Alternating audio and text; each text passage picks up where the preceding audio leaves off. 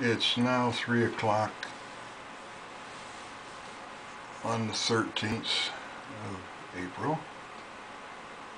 Flop has been laying underneath the magic maternity tree for, oh, let's see, close to seven hours now.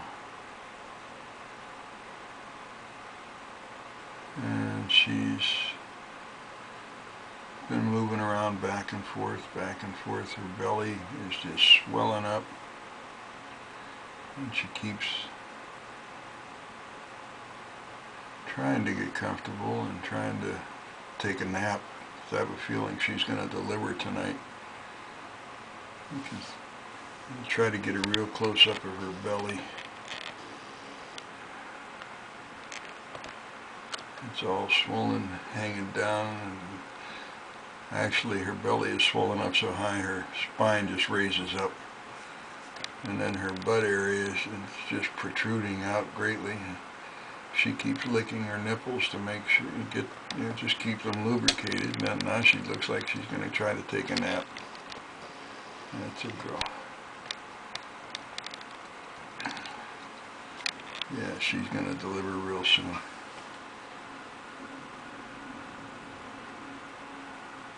Yeah, pretty girl. She's the great, great, great grandmother of everybody here. She has, and for the past four years, she's had twins. Her last year's set of twins, Tweedledee and Tweedledumpling, are just as pregnant as mom is, and I have a feeling they're going to have twins too. And then Crook is one of her daughters.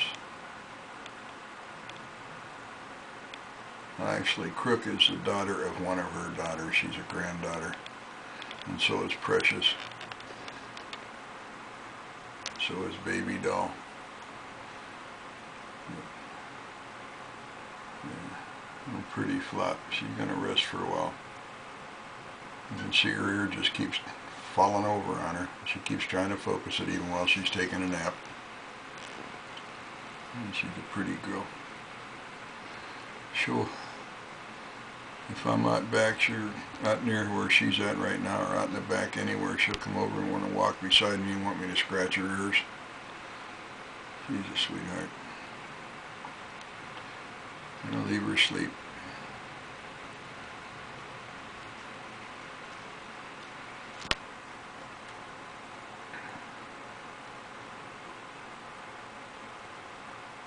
Now you can see her back area right behind her rear leg just keeps jumping.